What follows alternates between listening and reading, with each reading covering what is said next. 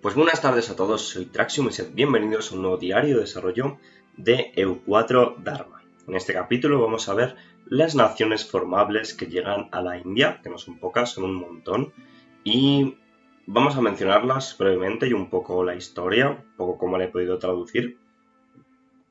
llegan con nuevos eh, árboles de misiones también, lo cual es interesante. Y también quiero decir que mencionaremos los grupos de ideas. No los voy a traducir directamente, pero bueno, están lo que se supone que son las ideas que está interesante por lo menos. En fin, los que hayan seguido la MP se habrán dado cuenta de que Delhi ahora es formable. Una vez un poderoso imperio que abarcaba casi todo el subcontinente, las fortunas del sultanato disminuyeron drásticamente después de la invasión devastadora de Timur.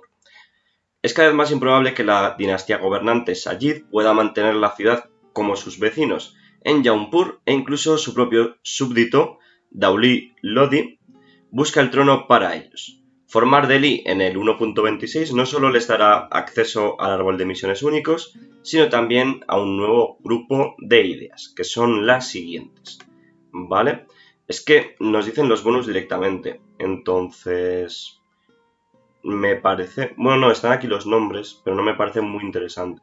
Pero, por ejemplo, la primera daría eh, poder de caballería, reputación diplomática, luego aceptar una cultura más.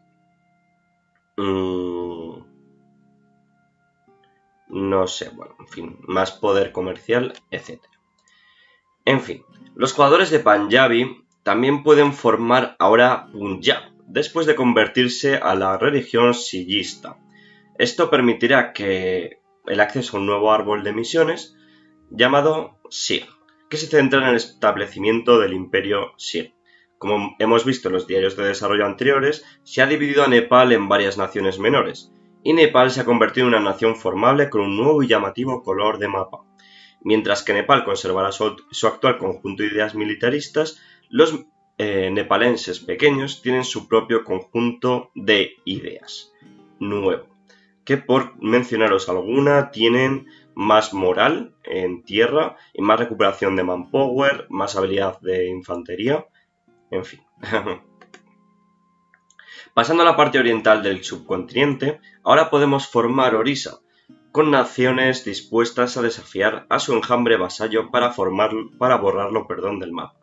Formar Orisa permite acceder a sus misiones únicas, pero no es la única opción disponible para las naciones de la región. Ahora también se puede formar el reino de Nagpur, que está, puede estar formado por naciones de India Central que quieren unificar a los Garhats y a los Gond. Fundado históricamente por uno de los reinos Gond, más tarde fue denominado por los Marathas de Bonsle, que, los, que los acabaron convirtiendo en uno de los reinos más grandes del siglo XVIII.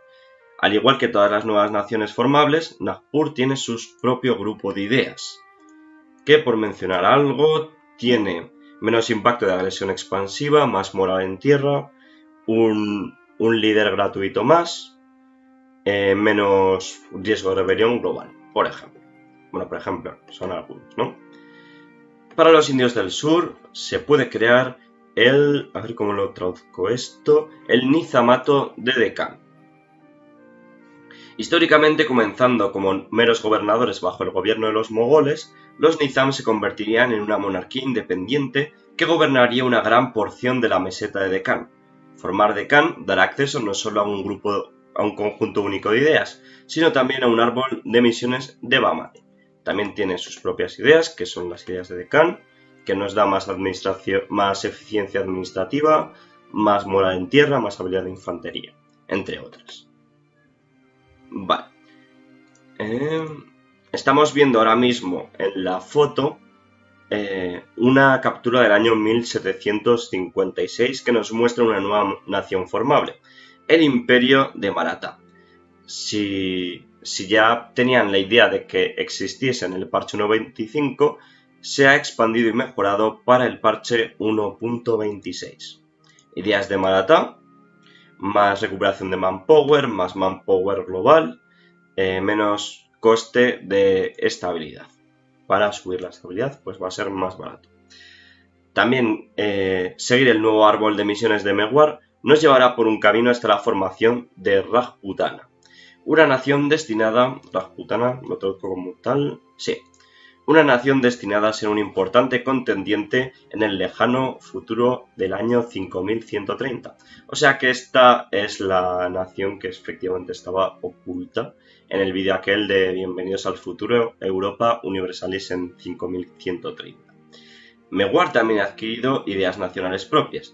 Estas ideas de Rajput reforzarán la frontera con sus regimientos con un bonus al daño por fuego ideas de Rasputin y de Meguar son, por ejemplo, una política militar gratuita, más moral eh, terrestre y más disciplina.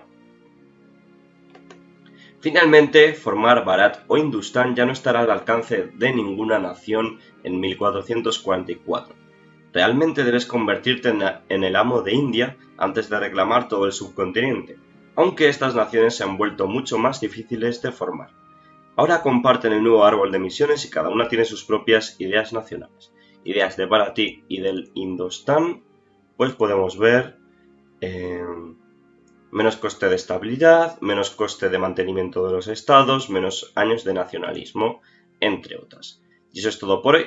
En la siguiente, eh, en el siguiente diario de desarrollo hablaremos de balances al modo multijugador, así como de un nuevo eh, una nueva ventana de asedio para eh, la India, de asedios indios. Veremos qué tal.